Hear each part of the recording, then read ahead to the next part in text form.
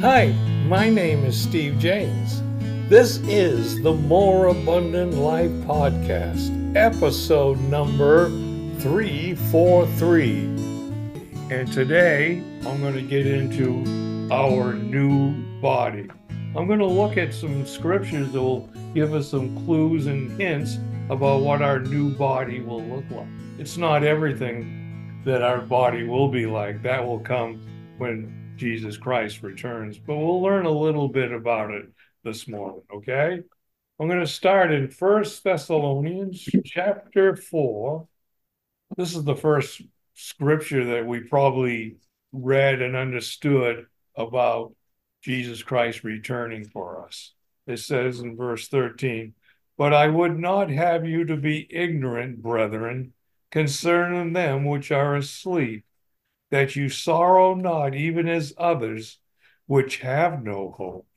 For if we believe that Jesus died and rose again, even so them also which sleep, the word in it shouldn't be in the text, by means of Jesus will God bring with him.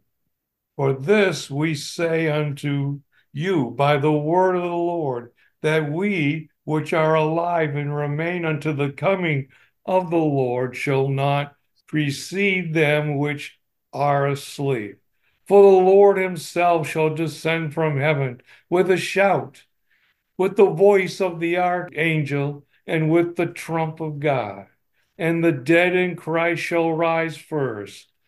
Then we which are alive and remain shall be caught up together with them in the clouds to meet the Lord in the air, and so shall we ever be with the Lord. I love this thing. So shall we ever be with the Lord. Therefore, comfort one another with these words. These words are a great comfort to one another as we speak them. We didn't learn a tremendous amount about what our new bodies will be like, but we do know that we're going to be with the Lord after that moment. Pretty cool, huh? Go to Romans chapter 8. I'm going to start in verse 11.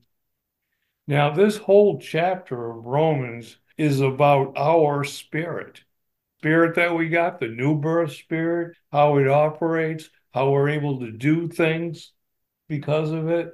It's just a tremendous chapter to read about learning about our spirit. But I'm going to point out some things about our body here. And I'm going to start in verse 11. It says, But if the spirit of him that raised up Jesus from the dead dwelleth in you, he that raised up Jesus from the dead shall also quicken or make alive your mortal bodies by his spirit that dwelleth in you. The spirit that dwells within us right now helps our model bodies, but it's also going to be part of our new body. The spirit that we receive is a token of what we're going to receive at the return. We get the spirit part right now, and we can start to operate it and utilize it in our lives. Go down to verse 14, and it says, For as many as are led by the Spirit of God, they are the sons of God. We're led by it. For ye have not received the spirit of bondage or servitude again to fear, but we have received the spirit of adoption or sonship, whereby we cry, Abba, Father. The Spirit itself bears witness with our spirit that we are the children of God. Once we get that Holy Spirit, it's the Spirit within us as we operate and manifest it. When we speak in tongues, it's like, hey, you know, you're a son of God now because you can't speak in tongues without it. It's the proof, it's the witness with our spirit that we are the children of God. And if children, then heirs, heirs of God, and joint heirs with Christ. Joint heirs with Christ. And we know what that means to be a joint heir. It means we share fully in what Jesus Christ gets. Pretty wild, huh? If so be that we suffered with him, that we may be also glorified together. God looks at us just like Jesus Christ, just with the token of the Holy Spirit. We're going to get something more that's going to be really neat. Go to verse 28. And we know that all things work together for good to them that love God, to them who are called according to his purpose. For whom he did foreknow, he also did predestinate to be conformed to the image of his Son. The image, the same image. It's talking about the body, that he might be the firstborn among many brethren. Moreover, whom he did predestinate, then he also called. And whom he called, them he also justified.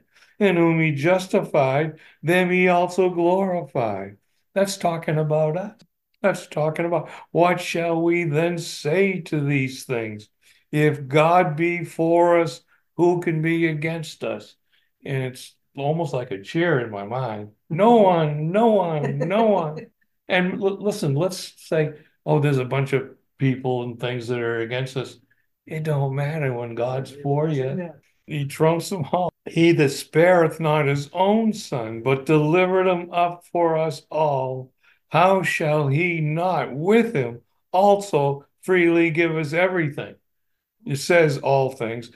This includes the new body. He's going to freely give us all things. We're discovering what about this new body, our new body? Go to First Corinthians 13. Romans, Corinthians, First Corinthians 13. We all know this is the love chapter, which is a, always a fun one to read. I'm going to start in verse 8, though.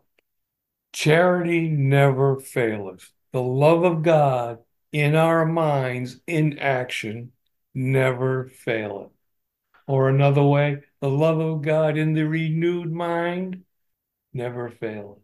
But whether there be prophecies, they shall fail.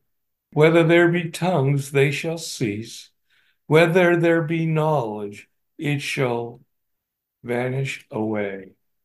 For we know in part and we prophesy in part. In our lives, we just know in part, really and we prophesy in part. But when that which is perfect is come, then that which is in part shall be done away with. The perfect one that's coming is Jesus Christ. When he comes here, we won't need those things anymore. Verse 11 starts to tell us about why. When I was a child, I spake as a child. I understood as a child. I thought as a child.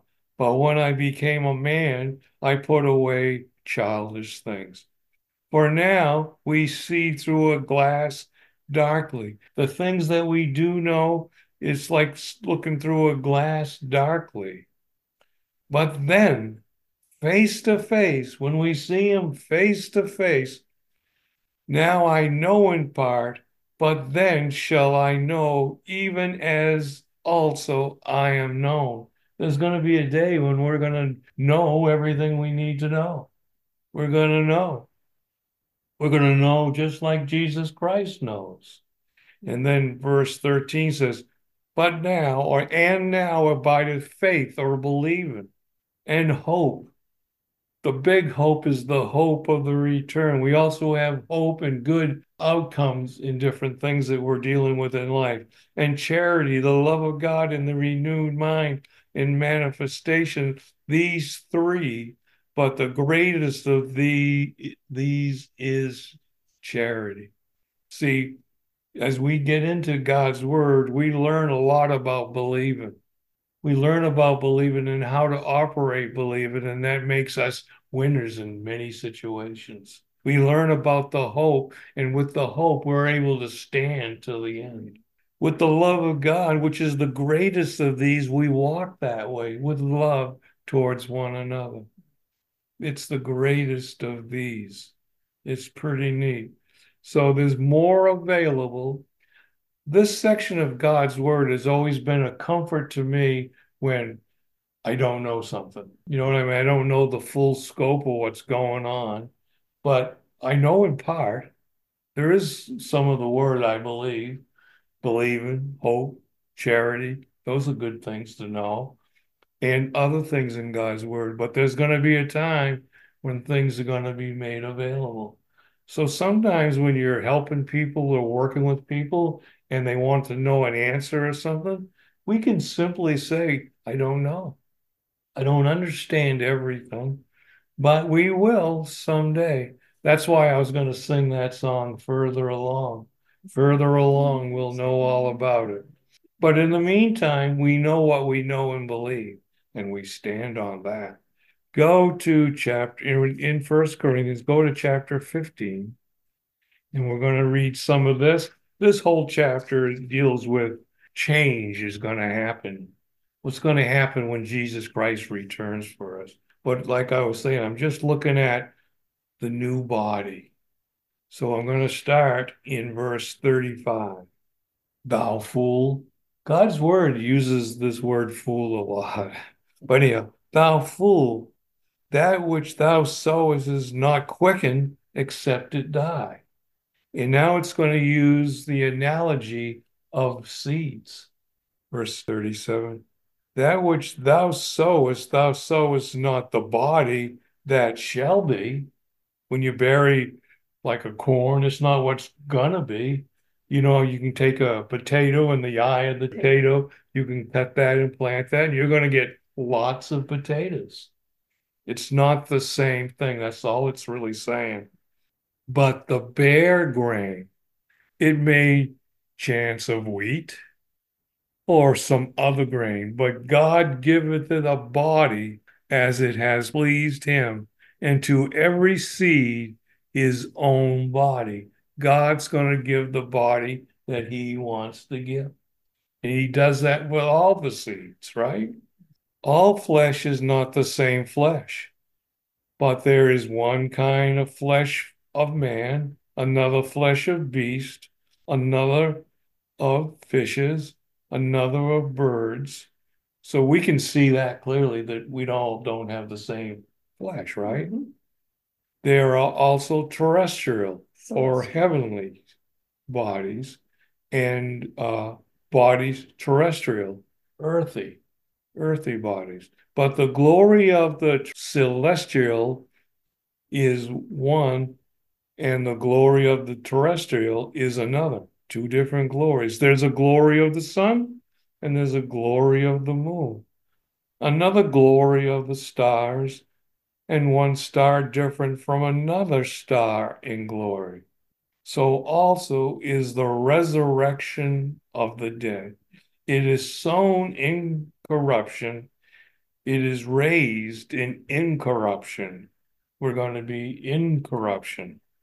It is sown in dishonor, it is raised in glory. It is sown in weakness, it is raised in power. There is a natural body, it is raised a spiritual body. Interesting term there, spiritual body. There's a natural body and there's a spiritual body. And so it is written the first man, Adam, was made a living soul. The last Adam was made a quickening spirit. Quickening spirit. The first Adam was made body, soul, and spirit. The last Adam had a body and soul, and the spirit was given to him at the baptism that John gave him. Howbeit, that was not first which was spiritual, but that which is natural, and afterwards that which is spiritual. The first man is of the earth, earthy. The second man is the Lord from heaven. As is the earthly, such are they that are of the earthly. And as is the heavenly, such they also that are of the heavenly. And as we have borne the image of the earthly, we shall also bear the image of the heavenly. The image, the looking like, talking about Jesus Christ. We're going to have a body that's fashioned much like his. Verse 50 This I say, brethren, the flesh and blood cannot inherit the kingdom of God. Flesh and blood cannot inherit the kingdom of God. Remember that. Neither does corruption inherit incorruption. And that's where we're going to leave it there. But I'll tell you, the rest of the chapter he shows you a mystery in the moment, in the twinkling of an eye. But we're studying our new bodies. So let's go to First John chapter 3, verse 1. Behold, what manner of love the Father has bestowed upon us, that we should be called the sons of God. See, what love God has for us that we're called the sons of God. Therefore, the world knoweth us not because it knew him not. The world, the people who have worldly thoughts, the philosophies of the earth, they don't know God and they won't know us either. Verse 2 says, Beloved, now are we the sons of God, and it does not yet appear what we shall be, but we know that when he shall appear, we shall be like him. When Jesus Christ appears, we're going to be like him, for we shall see him as he is. We're going to see him as he is. Let's go to Luke. We're going to look at Luke mm-hmm. and look at Jesus Christ in his new body and learn some things. Luke chapter 24, and we're going to start in verse 13. And this is a good verse, you know, the week before the resurrection Sunday. But verse 13 says, And behold, two of them went that same day to the village called Emmaus, which from Jerusalem was about three score furlongs. This is Resurrection Sunday. This is the day that the women went to the tomb and didn't see Jesus there. And then Peter and John went and looked in and they're talking about it and they don't understand everything that's going on yet. But they know that Jesus Christ is no longer there. And so these two, that same day, are on their way to Emmaus. And in verse 14, it says, And they talked together of all these things which had happened. And it came to pass that while they communed together and reasoned, Jesus himself drew near and went with them. But their eyes were holden that they should not know him. Jesus was able to disguise himself somehow. Verse 17 says, And he said unto them, What manner of communications are these that ye have one to another, and as you walk and you are sad? Jesus Christ spoke. They didn't recognize his voice. If you see movies, you know, and other stuff, people disguise themselves in different ways, but they can't disguise their voice. People usually know who they are. His voice was even disguised.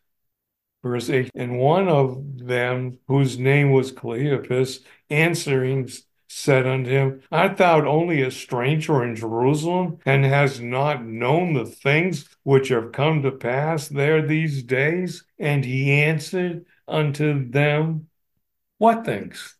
What a question, huh?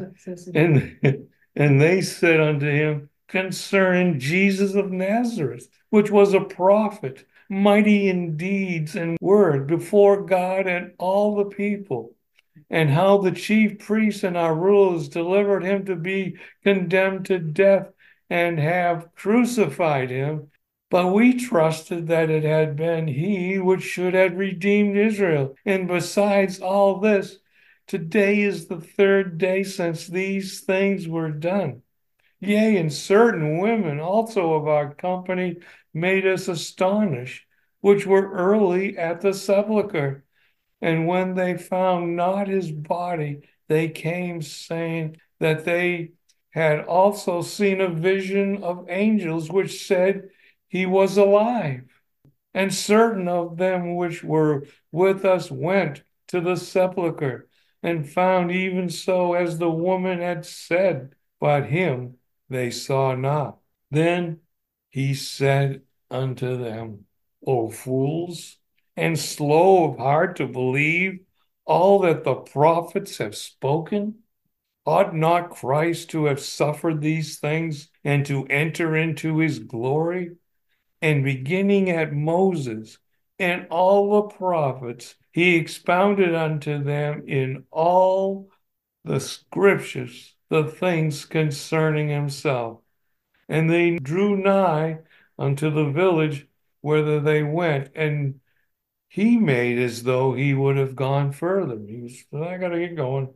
But they constrained him, saying, Abide with us, for it is towards evening, and the day is far spent. And he went in to tarry with them. And it came to pass, as he sat at meat with them, he took bread and blessed it and brake and gave to them, and their eyes were open, and they knew him, and he vanished out of their sight. Wow. I re- read this because we're going to have a body much like this. I don't know what we're going to do with it, but it's interesting. Verse 32 And they said one to another, Did not our hearts burn within us while he talked with us by the way, and while he opened to us the scriptures? What really opens and blesses people is the scriptures, the word of God. They didn't know it was Jesus when he did it, but they did know their hearts were open. It says burn, burn with mm-hmm. fire to hear that word of God. And they rose up that same hour and returned to Jerusalem and found the eleven gathered together with them that were with him, saying, The Lord is risen indeed and hath appeared unto to Simon, and they told what things were done in the way, and how he was known of them in the breaking of bread. And as they thus spake, Jesus himself stood in the midst of them and said unto them, Peace be unto you. Jesus somehow got into the midst of them, just was there. We're going to have a body much like that. Pretty excited. But they were terrified and affrighted and suppose that they had seen a spirit. And he said unto them, Why are ye troubled? And why do your thoughts arise in your hearts? Behold my hands and my feet. That is, is, is I myself. Handle and me and see, for a spirit hath not flesh and bone. I find this very interesting because you usually we would say flesh and blood. Hmm. Jesus didn't say that. He said flesh and bone. And he said, Look, see, my friends, three days later, a natural man looking at his hands three days later, what do you think you'd see? Big wound, blood trying to get out. Maybe you could bandage it. It would look a little different but he had a new body. And when he had thus spoken, he showed them his hands and his feet. And while they yet believed not for joy and wondered, he said unto them, Have ye here any meat? And they gave him a piece of broiled fish and a honeycomb. But and he took it, and he did eat before them so he could still eat. We're learning a little bit about what our new body might look like. Go to John, the Gospel of John, chapter 20, and we're going to start in verse 19. Then the same day, and this is the resurrection day, this is the day that they went to the tombs, the women and stuff, the road to Emmaus, the same day. It's actually going to be the same event when the Jesus was back in that room after the men from Emmaus got back because it says, then the same day at evening, being the first day of the week, when the doors were shut where the disciples were assembled for fear of the Jews, came Jesus and stood in the midst and said unto them, Peace be unto you. And when he had so said, he showed unto them his hands and his side.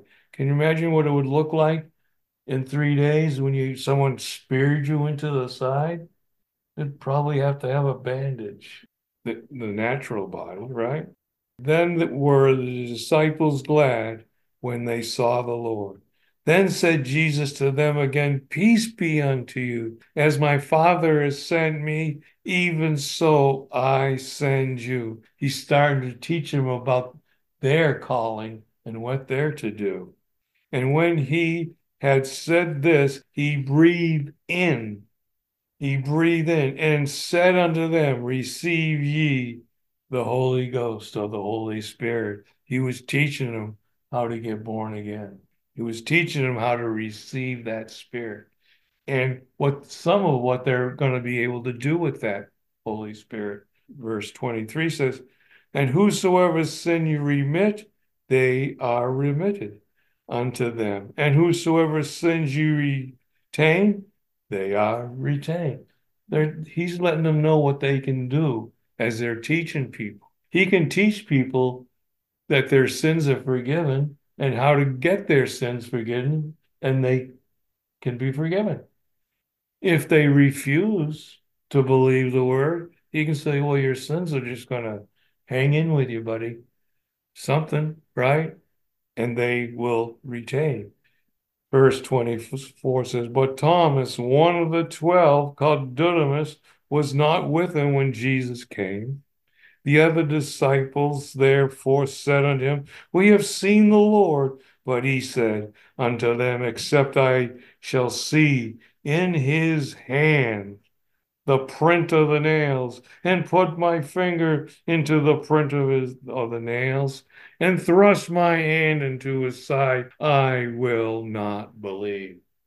And after eight days again, his disciples were within, and Thomas with them. Then came Jesus, the door being shut, and stood in the midst and said, Peace be unto you. Then said he to Thomas, Reach hither thy finger, and behold my hand, and reach hither thy hand, and thrust it into my side, and be not faithless, but believing. And Thomas answered and said unto him, My Lord and my God. And Jesus answered and said unto Thomas, Because thou hast seen me, thou hast believed. Blessed are they that have not seen and yet have believed. That's talking in part to us. We haven't seen the prints, we haven't seen the side, but we believed. Someone spoke the word and believed, and we believed. Pretty wonderful. Go to chapter 21. In verse 1, it says, After these things, Jesus showed himself again to the disciples at the Sea of Tiberias, and on this wise showed he himself. And I'm going to go pick it up in verse 4. But when the morning was now come, Jesus stood on the shore, but the disciples knew not that it was Jesus. Then Jesus said unto them, Children, have you any meat? And they answered him, Nope. And he said unto them, Cast your net, singular, on the right side of the ship, and ye shall find. And they cast therefore, and now they were not able to draw it, it for the multitudes of fishes. Therefore the disciple whom Jesus loved said unto Peter, It's the Lord. Now, when Peter, Simon Peter, heard that it was the Lord, he girded his fisherman's coat unto him, for he was naked. That just means he had partially. And did cast himself into the sea, and the, the other disciples came in a little ship, for they were not far from land, but it were two hundred cubits, dragging the net with fishes. As soon as they were come to land, they saw the fire of coals there, fish uh, laid thereon, and bread. And Jesus said unto them, Bring the fish which ye have now come. And Simon Peter went up and drew the net to land full of great fishes, a hundred and fifty and three. And for all there were so many, yet was not the net broken. Jesus said unto them, Come dine. And none of the disciples durst ask him, Who thou art, knowing it was the Lord.